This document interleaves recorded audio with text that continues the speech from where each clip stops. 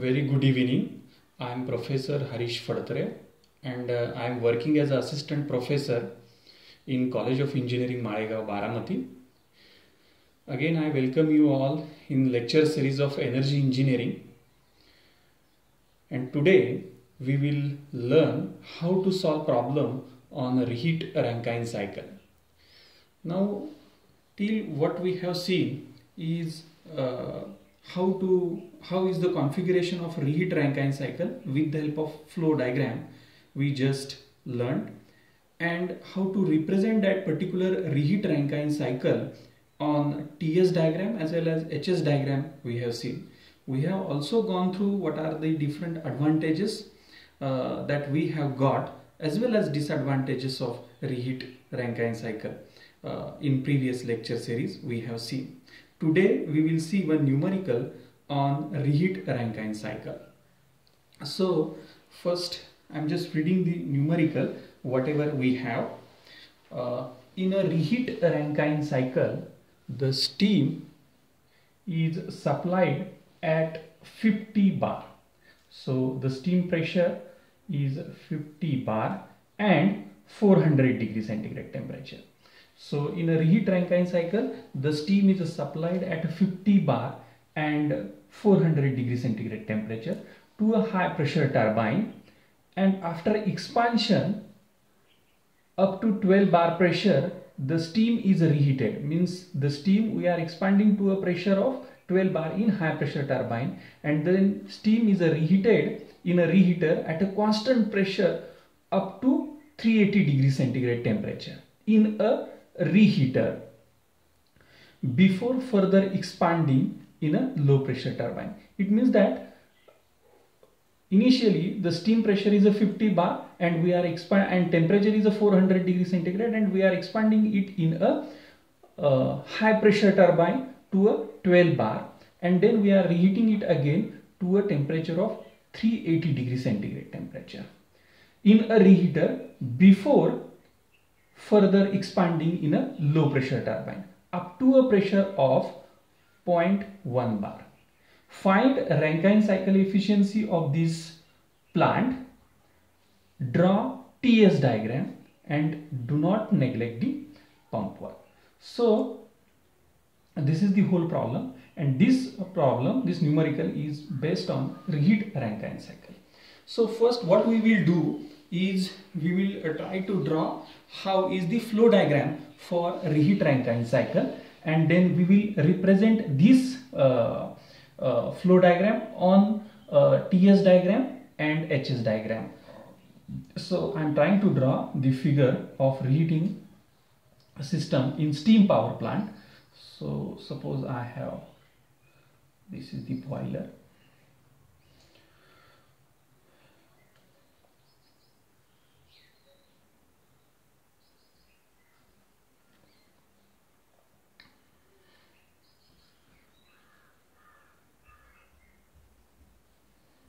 see.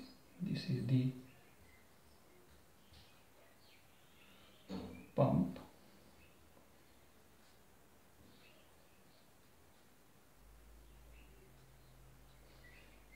boiler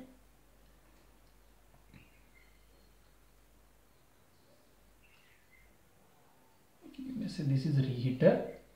This is pump. And uh, from this boiler we can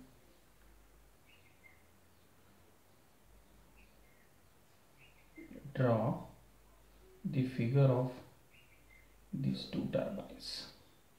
So this is high pressure turbine.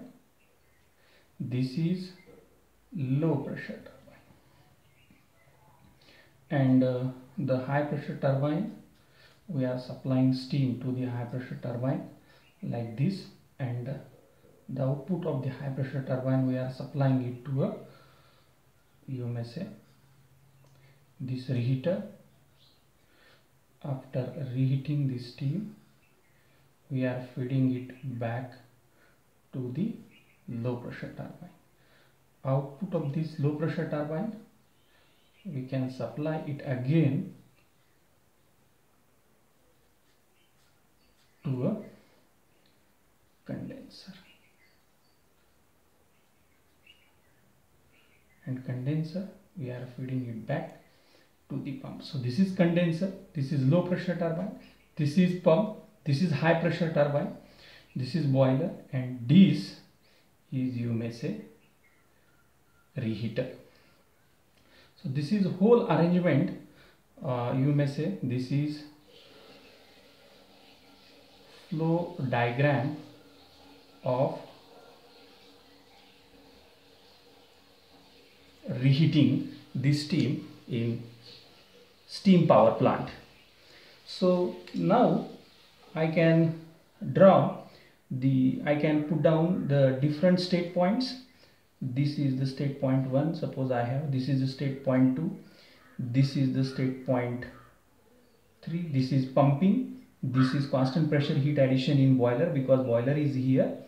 Then 3 to 4 is expansion in a turbine 4 to 5 constant pressure heat addition in a reheater. This is 5 then 5 to 6 again I have uh, expansion in a low pressure turbine and 6 to again 1 uh, I'm coming back to initial position as such. So this is a flow diagram of reheating.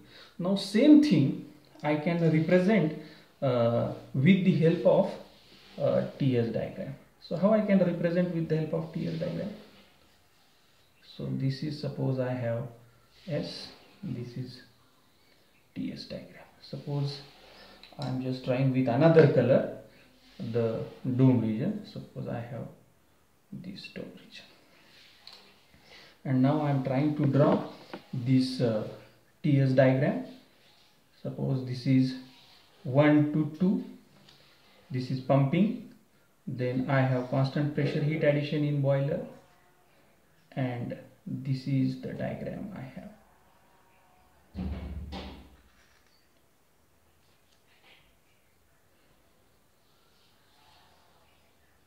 This is the diagram TS diagram you may say. That is a 3 this is point 4 this is point 5 this is point 6 so the different pressure values different pressure value this is constant pressure line intermediate pressure. This is P1 maximum pressure in the cycle which is 50 bar. This is P2 intermediate pressure in the cycle that is 12 bar. And back pressure in a condenser is a 0.1 bar. So this we have the diagram which we may say TS diagram for reheating for reheating purpose. This is the TS diagram. This is this is flow diagram.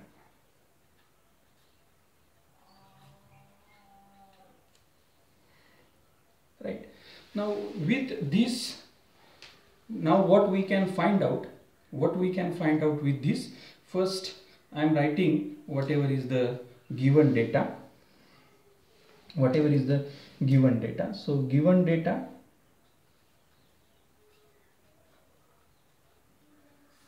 given data. So first I have the pressure P1 P1 is equal to 50 bar maximum pressure in this cycle. And this I can the temperature of the steam is given. That is at a point 3 that is T sub 3 which is a 400 degree centigrade. And when I I can check that whether the steam state is a dry or superheated. As at a 50 bar pressure saturation temperature value is uh, lesser than a 400 degree centigrade temperature. So I can say that the steam is superheated before entering to the uh, high pressure turbine. Then second is the given thing P2 P2 is a 12 bar.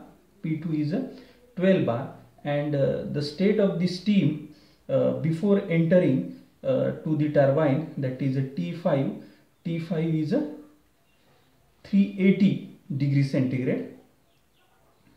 And this also this uh, at P2 bar uh, the T saturation temperature at 12 bar is a lesser than 380 degree centigrade. So this is also uh, superheated you may say uh, superheated state. So at the three state uh, the steam is superheated at the thermodynamic state 5 the steam is also superheated which is at this 50 bar pressure this is at the 12 bar pressure as such.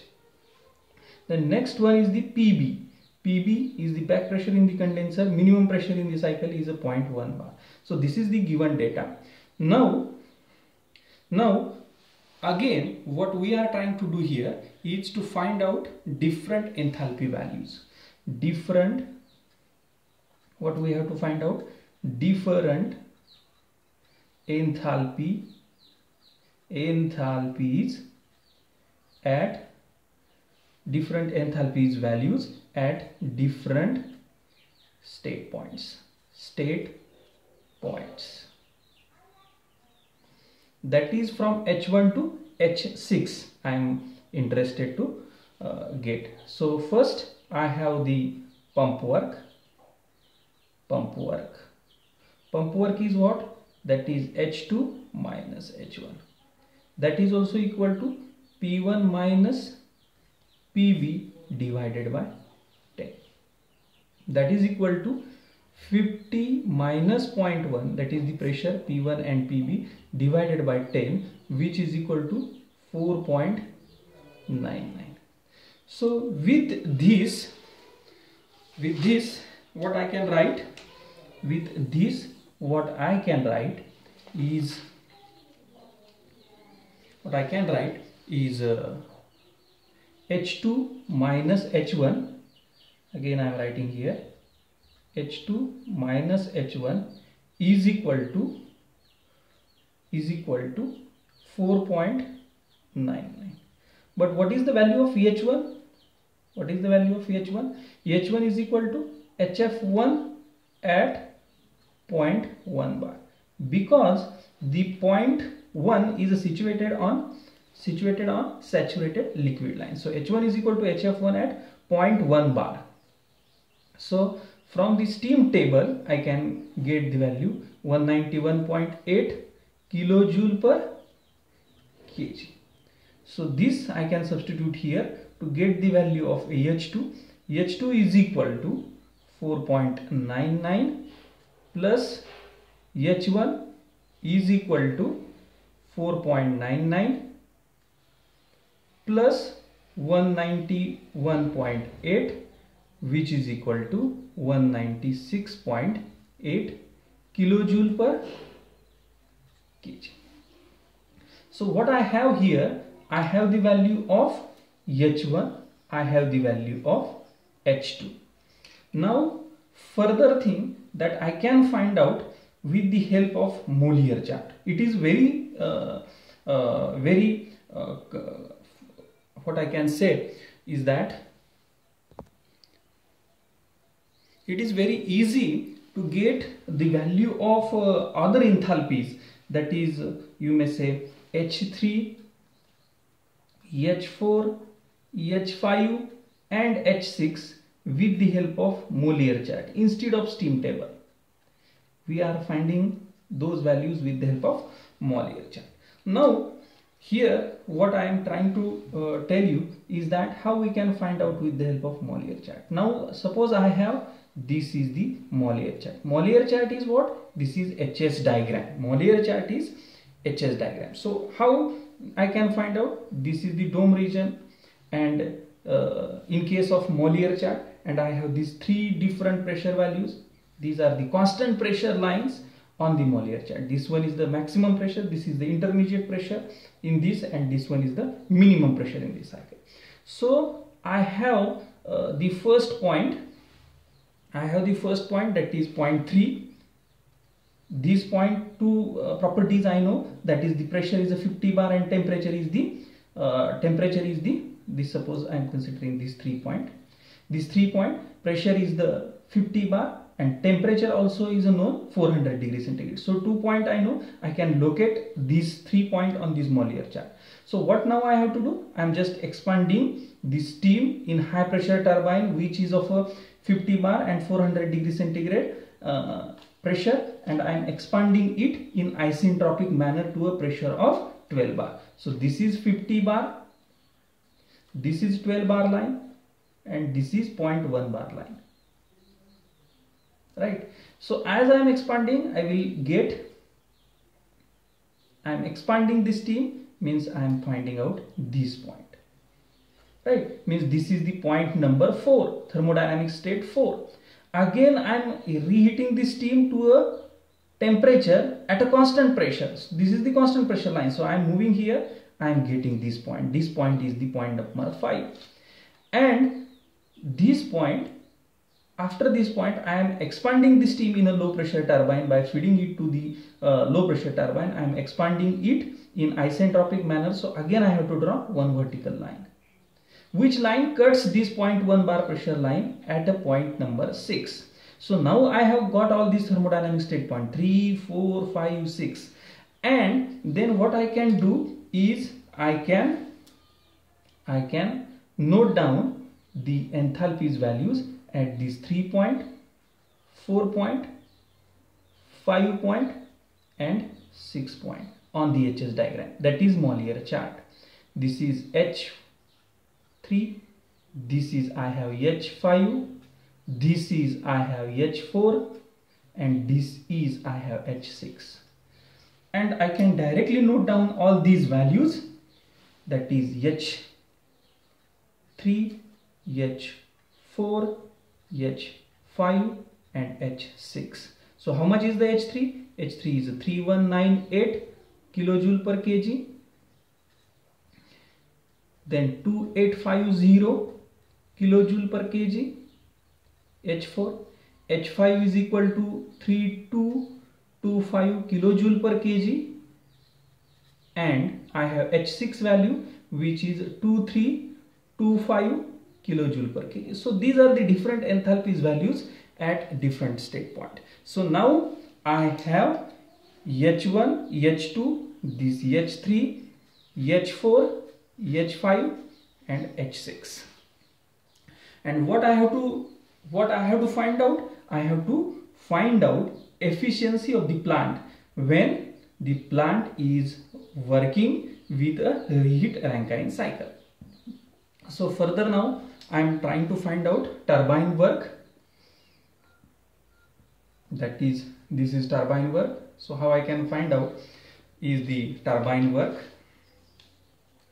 Turbine work with the help of diagram I can write the expression for the turbine work. That is the turbine work is the total turbine work. That is high pressure turbine work plus low pressure turbine work so that is equal to H3 minus H4 enthalpy difference plus H5 minus H6. So further I can write this turbine work as 3198 minus 2850 plus 3225 minus 2325. So I will get the turbine work as 1248 kilojoule per kg. With this I have to find out pump work also. So WP is the pump work that is H2 minus H1 which is a 4.99 kilojoule per kg. This is the WS is the shaft work WT minus WP which is equal to 1243.01 kilojoule per kg. So further that is heat added uh, we have to uh, write down heat added. So how I can write down heat added? Heat added is equal to heat added is equal to heat supplied in boiler plus heat supplied in reheater. So heat supplied in boiler is again enthalpy difference H3 minus H2 plus heat supplied in reheater is H5 minus H4. Very simple thing. So again enthalpy difference I am putting all enthalpies I am I have noted that is 3198 196.8 plus 3225 minus 2850 so I am getting this uh, very important thing that is a 3376.2 kilojoule per kg. Now, what is the value of Rankine efficiency? So I can find out Rankine efficiency or reheat cycle that is shaft work divided by heat added. That is equal to 1243.01 divided by 3376.2. So Rankine efficiency we will get is 36.81 percent. So with this we can also find uh, if asked that is the steam rate and as you know the steam rate formula that is a 3600 divided by Ws. So required value of steam work you can find out. You can find out. So this is the uh, problem which is also asked in uh, last uh, our uh, INSEM exam. So you can go through this problem in order to understand this problem. If you will find any query in this problem you can ask me but here it is very important to find out all these things with the help of Mollier chart and and another very important thing I just want to add is that when we have to find out enthalpy's values of this region means subcooled region as well as wet region uh, as well as uh, uh, in case of uh, you may say inside dome region we can find out enthalpy's value with the help of steam table but when the steam is superheated it is it is very easier easy thing to get these values of enthalpy with the help of uh, Mollier chart. Mollier chart approximate values we are getting with the help of Mollier chart and with the help of steam table but steam table uh, you will require more time when intermediate values are there to uh, do interpolation and all. So it is very good to use Mollier chart in case of this kind of problem. So if you will find any query in this you can ask me you can contact me. So thank you very much again. Thank you